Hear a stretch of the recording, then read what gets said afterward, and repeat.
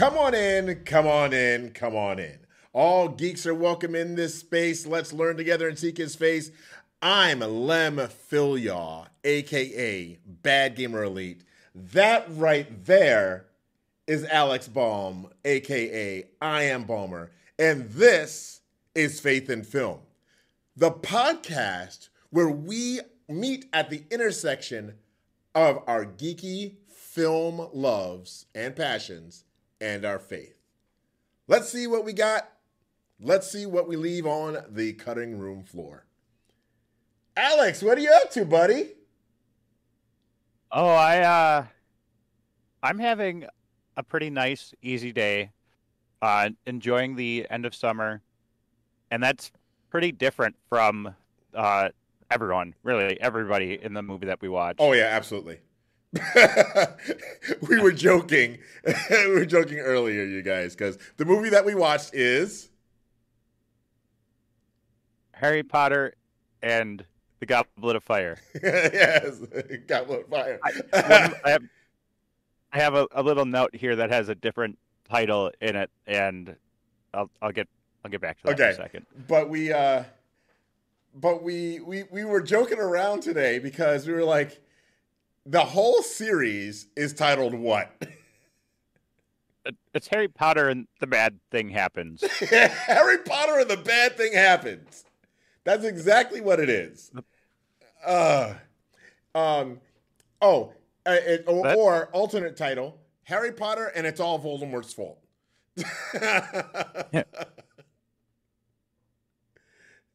Oh man, but this is one of my absolute favorite movies. yes. Absolute favorite movies. There are people that don't like Goblet. They don't like the book of Goblet. They prefer Prisoner. Prisoner it tends to be one of the uh, most popular ones. Um, but I love Goblet um, because you get to see. I think I had mentioned. Go ahead, Oh, no. finish your You thing. get, you get to you get to see more of the Wizarding world, right? Like, and even if you're reading the books, you get to read more about the different parts of the uh, Wizarding world. And I, I think that's just amazing. It's not just contained in Scotland. Um, yeah, and I think when we, I think it was on the choosing video stream podcast, whatever. I had mentioned that I it's my least favorite. Um, I was wrong. This one, it's it's one of my favorites. Um, number six is up there also. yeah. Um, number five is the one I was thinking of, where it, it's Harry Potter and the hormones.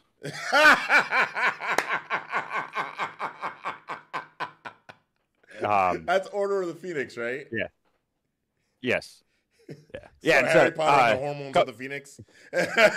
Yes.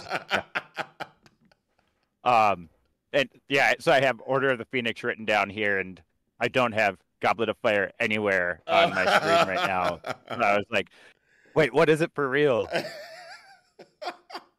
Harry Potter and the Goblet of Fire. yeah. Um. And Yeah. Yeah. So I, Uh, I I don't remember. I, I I know I talked about it uh, before we started recording um, about what happened with me, and I'm pretty sure I did not. I haven't spoken about that yet. Um, so, uh, yeah. Harry Potter, Harry Potter and the bad things happen. Yeah, Harry Potter and the bad thing happens, and the bad thing happens again. And Harry Potter and the oh, guess what? More bad stuff. That sounds a lot like a certain guy in the Bible's life. Yeah. Yeah. Um we were I started this I started this movie and by the way, for those that are old school, yes, I did watch the whole movie. but um I was I I I started the movie and I got about 30 seconds in as I do and I usually have my first oh my gosh, this is something I could talk about. And I really believe that God said, Oh, you know how you can expand on that? And I was like, Oh, of course you had a great idea, God. Let's keep going with that. so I started, I kept writing and I kept writing and I kept researching and I kept writing. And before you know it, Alex, I had read through the entire book of Job. and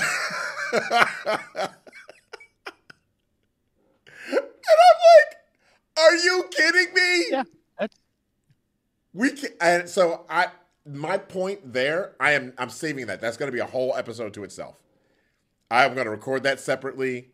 Uh, we're going to have some uh, some fun with it. I've got lots of notes. I've got lots of references.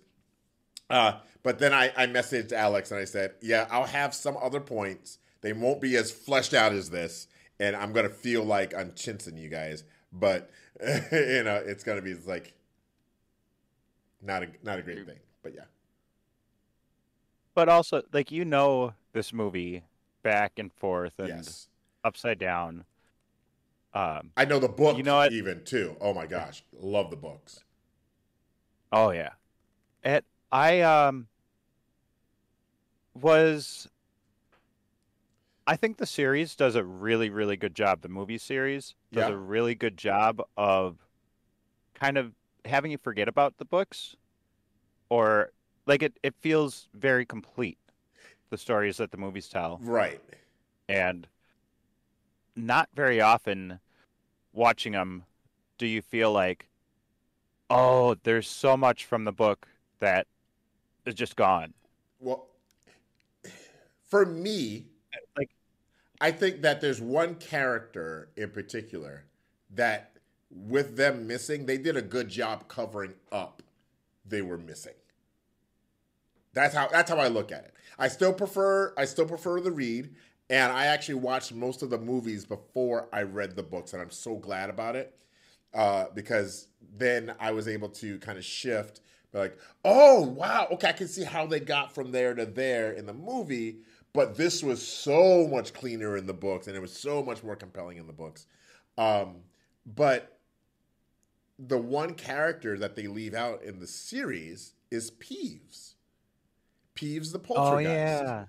And he Yep. is so, oh my goodness. There is so much that he does that explains so much.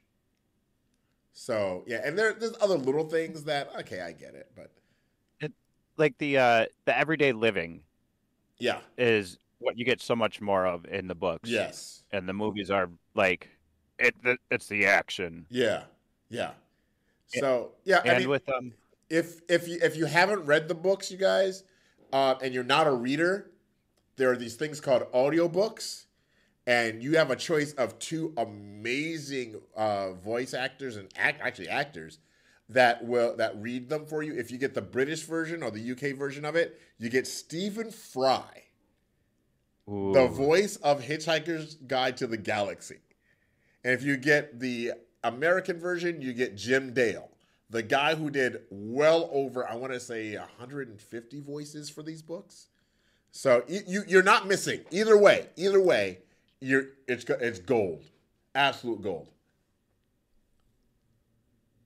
um that's about half of what like Hank Azaria has done for the Simpsons yes, And, um, yes. Oh, and then there's the other guy. I can't think of his name. He was the pirate in Dodgeball, and he voices like everything. He was um oh, oh yeah, uh, K2SO. Steve, Pirate Steve. Is that think so, Billy? yeah. Billy something? No, it's not Billy. Billy does Fry. Anyway. Billy West. Yep. Sorry, girl. Um, so, uh, with this movie though, I, um, re- was a little bit disappointed, or like today. This is Uh, Yeah. so, what a decade, almost twenty years after it came out. Uh, I felt a little disappointed at with the beginning of it, how it jumps right into the uh, Quidditch World Cup, and they the movie does a great job of showing like the the awe. Um, uh, I had a couple more words. The There's like that splendor? and yeah of when they um of seeing like the, it's the world Quidditch champions Yes. or championship. So you have, uh, as you said, one of your favorite things about this uh, entry is that expansion of the Wizarding World, Yeah. and it's the same for those characters of like that's their first experience of international um, anything, Yeah. And Her- then Hermi- uh, Hermione and and and uh, and Harry in particular. You know, I'm sure that the the Weasleys have had experiences because you know Dad works for the Ministry. It's like, you know, he might not be, you know, the top dog at the Ministry, but Arthur's got some pull. um, and yeah, especially like when they go into the tent. yes. Um, and Harry is like above all that grandeur and awe that he's experiencing. He's like, I love magic. Yeah, he's like, uh, okay. He he knows tents from being uh, Yeah. you know living in the Muggle world. You know, we've uh, uh, we we've worked Lifest together, and we've had to camp at one point. And uh, man, um, our tent wasn't like that. Yeah.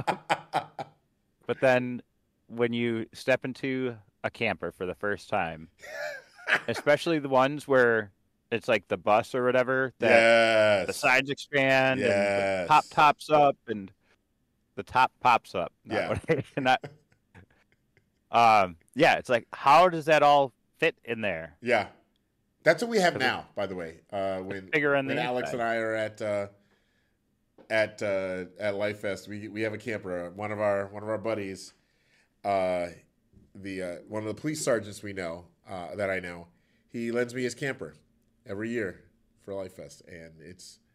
Oh, he said we're not getting it next year. By the way, just so you know. Okay. Uh, we are Okay. getting uh his new one next year. he literally typed that to me. Sorry, it's not going to be there Oh, next year. man. You get my new one. Oh, God. All right. Shucks. but Um, yeah. you Um, were saying magic, awe. Yeah. Uh, and I didn't have much of a point with that. Uh, yeah. Um, the international bit of it, though. Yeah. So unity and teamwork. Um, this was big uh, on my mind recently with the Olympics going on, Mm, yeah. And I love that. Like I grew up as uh, as an athlete, never really that good, but still athletics Yeah. was the biggest part of my life. And so I've always loved, you know, that every 4 years you have the best of the best of the best in the world humming and competing Yeah. and um From everything Something from that really gymnastics to to volleyball to breakdancing. It's breakdancing. yeah, to horse dancing and um, something that stood out for me though this year, or that maybe it just hit me more this year, was the um, camaraderie. And Mm, uh, even though these athletes are like from different countries, seeing them interact there at the finish line or at the end of a bout, and all hugging and congratulating each other, and like they're they're peers. yeah. And From different yeah, countries and that- some and some countries that have conflict with each other. Yes. Yeah, and it like taking those um, you know, geopolitical leaders out of it and being like we're we're people. At the end of the day, we are people and we are seeing how um how far we can push these bodies of ours Yeah. and uh, um how how much we can compare all this time that we have spent practicing and mastering our craft Yeah. Absolutely. and yeah that that love i i love seeing that and uh we see that a lot through this movie as well um that teamwork Yeah. um Whether it, yeah, have- yeah. Oh yeah. Oh sorry, you go ahead. You go ahead. You go ahead. from when like um when they're all in the the great hall and the Beauxbatons and Durmstrang comes in and the um and Barty Crouch I I forget his official title. It was like Minister of International Cooperation. Yes. something like that. Yeah. And, uh, and then you see it on a small level too, throughout of people helping each other. Um, early on, Harry, well, Harry gets help from Ron. That the first challenge is dragons, Yes. and then well, Harry- no, it Harry was warns- it was uh, Parvati had told Dean, who told. Uh, But Ron, it, it really didn't come through that because Ron knew, and even though he wasn't speaking to Harry, yeah, he helped out. yeah, um yeah constantly you see this helping out um Mhm. even between the competitors harry telling cedric cedric telling harry about another one um harry rescuing fleur's sister i feel like i'm just like i'm just doing spoilers spoiler after Look, spoiler right now Look, if you haven't seen it yet, I mean, after ten years, I think we we we're good. um, but yeah, I and the other thing is, it's not. it- It's it's everybody's helping each other out. They're living that. Am I my brother's keeper? Yeah, you are. Yeah. Yes, yes, you are, Cain. You are your brother's keeper. You know, as, as it's the loving your neighbor, right? Yeah. It- Uh, it's the different parts of the body of christ yes, it's So, yeah, absolutely. Um, because like nobody, uh, uh, uh, nobody knew uh how to how Harry was gonna be uh being un, uh, get underwater, right? How how is he gonna breathe underwater? Neville. Oh, an, and an offhanded comment. And actually, if you go back, um, uh, to like before the first task, Neville is talking about this new book that he has. yeah. Neville and Harry are just kind of hanging out by the water, or whatever, and Neville's geeking out on this new botany book that he got. And that was where he found out about the gillyweed being um doing what it does. in the movie. In the movie, I, we're gonna have those people that are like in the book. That's not how it happened. Like, we understand. In the movie, right? Um, Oh, so man. um so my my connection my my biblical connection with this is uh uh in from first corinthians chapter 12 uh talking about the body of christ and um yeah it's in chapter 12 i have the the section was a little bit rambling and confusing so i took some like verses and skipped some and so, took a so few we others look at and yeah, I'm- look at chapter twelve. I'm gonna kind of summarize it anyway. Of of, in fact, the body is not one member but many. It, many members yet one body. The eye cannot say to the hand, "I have no need of you," nor again the head to the feet, "I have no need of you." Um, all of the pieces of the body together make up the body, and if they were all the same, the body wouldn't be what it is. Exactly. We have like I, And, I for instance at at Life Promotions we have different departments, right? Um, we have different ministries. Uh, Dignity Revolution goes into our public schools, where God Games and Geekery doesn't necessarily do that, but that doesn't mean that God Games and Geekery, while we do something almost every day of the week, whether it be on our social media or whether it be in you know live or whether it be study buddy on you know Tuesdays where we're hanging out and keeping each other uh, going, um, or in the Discord. It doesn't mean that because Dignity Revolution might do something three times a week, you know, or you know maybe maybe ten times a month, maybe let's say, um, depending on who is available. Um, doesn't mean that it's not important. It's you know, and just because uh, it has a it does have a larger reach than God Games and Geekery, that doesn't mean that there's not something that we're doing that helps uh, Dignity Revolution. You know, Quake is a certain time of year, right? The Quake uh, our Quake events are a certain time of year, but they are so impactful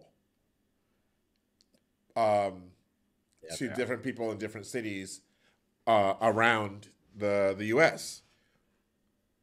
Just because Lifest isn't only Oshkosh doesn't make that any less important, right? So yeah, I I, I fully agree um, that we as the body need to recognize uh, recognize that, right? Recognize the importance of us all. Oh yeah, and uh, and just like we work together in supporting each other, um, like there's the literal of that, and then there's like a, a counseling kind of supporting. Um, so like acknowledging and sharing pain is the next mm. kind of theme or, or part that I got. So, uh, some verses I have Romans 12, chapters 15 through 17. Rejoice with those who rejoice, and weep with those who weep. Be of the same mind toward one another. Do not set your mind on high things, but associate with the humble. Do not be wise in your own opinion. Repay no one evil for evil. Have regard for good things in the sight of all men. Mm um, I love like that. Reading it again, it's like those are it's so like on the point and that's awesome. Yeah, I love those verses. Absolutely. Um, I was, and, you know what? I'm I'm gonna hold off. I'm gonna hold off. I want to hold these. I'm gonna let you keep. I'm gonna let you cook because I've, right. I've got the I got some points, but I think I want to save these for our quick weekly podcast uh, uh, devos. I'm gonna save these. Okay. Can't wait to record them though. Oh my god, they're decent points. I uh, I'm I'm excited to hear them and like you'll have to give me a little sneak peek after. I mean, after we're done recording. I hope. I mean, maybe. um, sharing pain. So, at the end of the movie, um, you have the um, the final task or whatever is going through the labyrinth, and it, it's the super bad, super scary task. Yeah, and you have um, like everyone from all three schools, but then you have a bunch of the public that there's that is there too. Yeah, to watch this, and uh, they can't really see what's going on though in this labyrinth. Yeah, and at the end, uh, Harry and Cedric come out, and everybody is cheering. Like, all right, the competition is done. We have a victor, or we have two victors. And then, uh, so you have that that shared um, shared joy. Even the other um, other schools are cheering that it, it's done, and yeah. these guys got through it. But then that cheering turns to like worry and despair. Yeah. Uh, when realizing that Cedric has died.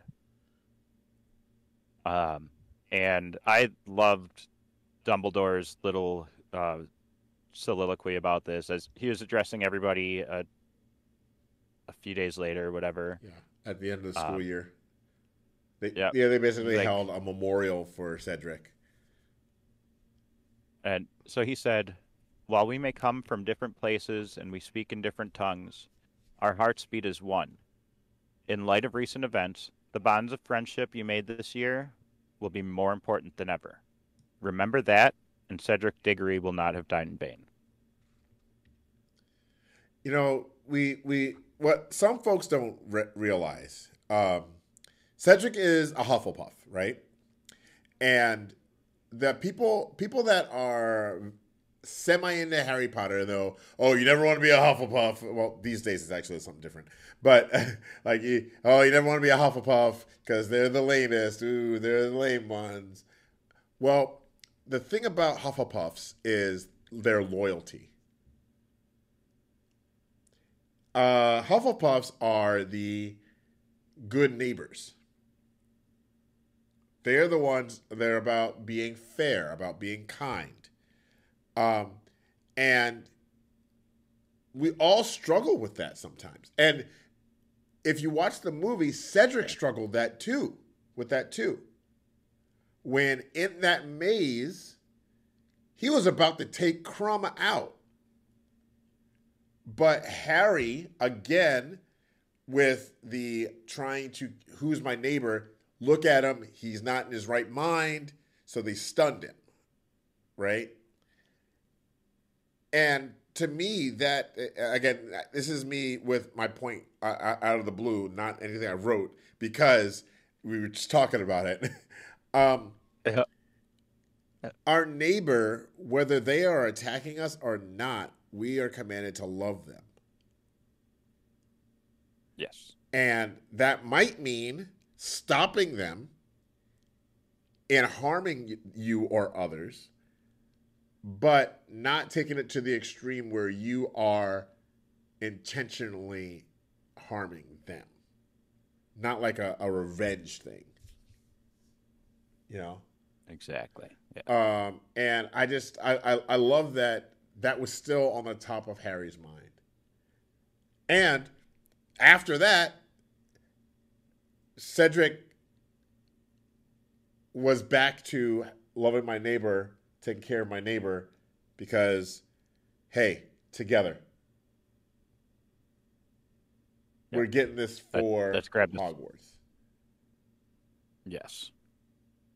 Uh, yep. And then bad stuff happens. And then bad stuff happens.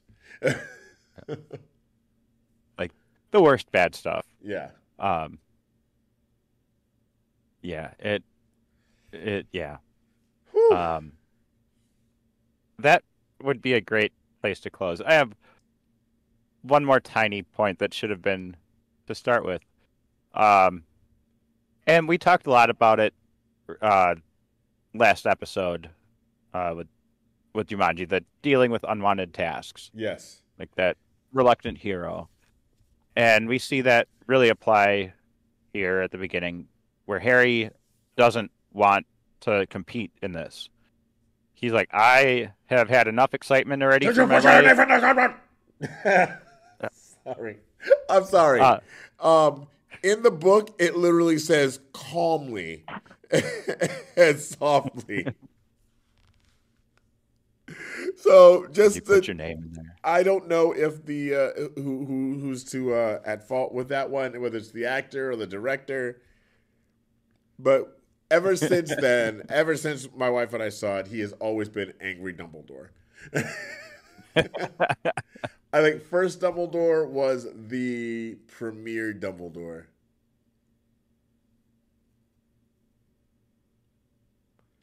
That's just yeah. um, but you were saying, I'm sorry, I interrupted. No, all good. And I got distracted by some fuzz on my keyboard. um, so that uh, the biblical connection I got with yeah. that, uh, a little bit different than um, what we had talked about last time of I think we talked about Gideon, we talked about Jonah. Yes.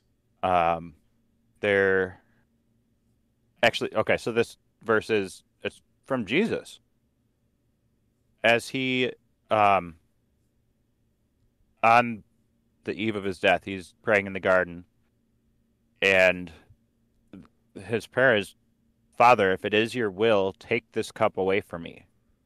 Nevertheless, not my will, but yours be done. Mm. And uh, I who knows? The original translation might have been "Take this goblet away from me." Mm. But uh, yeah, I'm quite sure Harry would have at least the first part of it. Like, yeah, take this cup away from me. Yeah. And, um, but as the competition goes on, he's like, I look, I'm, I'm here. I got to do a thing. thing. If I'm, I'm not, yeah. I'm not gonna just like, you know, flake out because I don't, I'm, I'm scared. I'm scared. You're not gonna do it. He's Harry Potter, baby. Gryffindor. I I I I saw that what you were saying like it auto finished in my head and it was a little different. I'm just gonna leave it at that. oh yeah. So Harry Potter and the Finally Someone Dies book. movie. Somebody died already. How many more need to die? Everyone. His parents died. It Well, yeah, but so this did stick out with me as um when I first read the books of like books are it it's always resolved well. yeah. Like it um yeah, it everyone's good at the end of the day and next week it it's fine. The episode is back to normal. Yeah. It doesn't matter that Springfield ha- burned half of it down or that, you know, the a monorail went bad and like things are back to normal the next episode. Yep. And with um the fact that you have a a fairly major character die Yeah. with this book, it I I'm not gonna lie, I, I kind of uh really cheered for that or I loved that it happened because it, it told me like, all right, this series is it's gonna play it real. It's not Oh, I think we lost Alex a little bit, but I think he was about to say that it's it's not they're not going to play it super safe. They're not going to uh, do with the trope of good guys always win. No, good guys might always win, but they have losses as well. Yes. So It it turns out the way it's supposed to in the end. yeah, But it's gonna be really tough there's a price. all the way there. There's a price to be paid. Just like we know the end. As children of God, we know the end. We know that He's got us. But, you know, Jesus had to be crucified. People had to get eaten by lions. You know, But there Lions' mouths were shut. yeah, yeah. Um, not in Rome though. Oh yeah, yeah. Good good point. Good Yeah, point. um, like atrocities. One happen. guy was lucky. Yeah, atrocities happened, you guys. But and, And on, honestly, they're still happening. And yeah, Uh, absolutely still happening. all around the world. But we know God's got it. God's got us.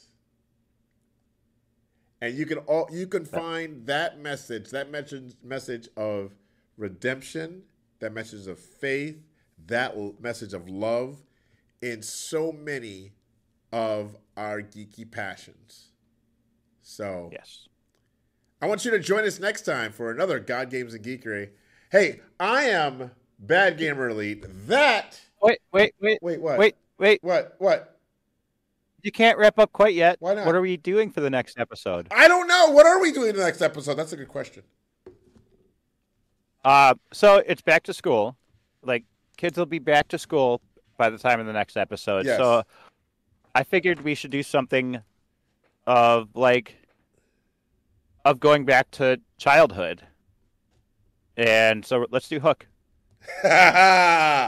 you are doing Robin Williams uh, marathon, aren't you? Because that was those are both of your first picks were Robin Williams movies. It both of them have had like a a very apt thing to tie them into the moment. Yeah, I'm surprised you didn't say Jack at all. Have you seen Jack? Oh no. I no, that one makes me angry. Yeah, because I saw it. I was like, uh, I don't know if I was like eight or ten years old. yeah. And all of the previews for it were like, "Oh, hey, this funny, goofy guy oh no! like a kid," and so I begged my mom, and she took me and my younger brother to see it, and it's it's this drama, this sad, yeah. super sad movie. It's like I mean, there were funny parts in it, but man, there, there was some stuff. It, was the same five minutes worth of funny stuff as they used in all the previews. All the trailers. Yes. All right. So It- Hook. So good movie. Yes. Hook, Hook. also a great movie. Uh, we'll be back with Hook in a couple weeks. Um, these will be coming out once a month, you guys. So they're not going to be out weekly or bi weekly. Uh, we're saving content. saving content. So, which means that maybe somewhere in here we do a God and games or a music and the message. Maybe we throw some up in there. But for now, can I can I close it up now? yeah. Okay. Yeah. All right. All right. All right. Hey, thank you all for. I'm gonna hook you back in. Uh, thank you guys for being here. I'm Bad Gamer Elite. That is I am Balmer. You are loved. Because remember, Jesus loves you. So do I. So does that guy. And always, always, always leave people better than you found them. Cut!